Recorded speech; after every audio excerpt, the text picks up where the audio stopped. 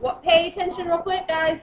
Uh, when you use watercolor, what's your most important ingredient for watercolor? Water. Very good. So if you're not using water, this isn't going to work. You need your brush loaded and wet. So we've got our brush loaded and wet. Okay, so my corn was cool colors. That means my background should be Warm. warm colors. What are the warm colors? Red, yellow, orange, and yellow. Red, yellow, Very good. I'm going to start out with yellow. Just load up that little dish with water. Stir it around a little bit. You're painting with the water, not with the paint.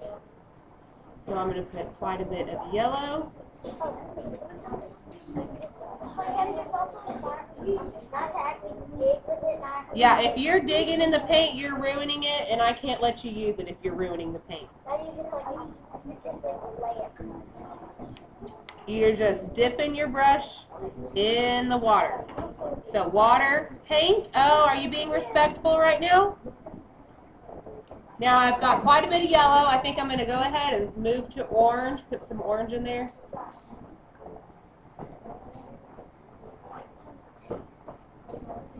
Let's see. Let's do right here at the top. Orange. Okay, I'm not going to do the whole thing. I'm just going to show you just this one side here.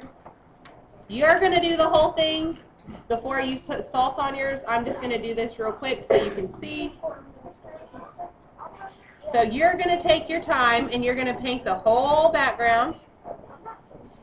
Then you're going to take your salt shaker and you're just going to sprinkle a few little spots. You can already see a few spots where it starts to turn.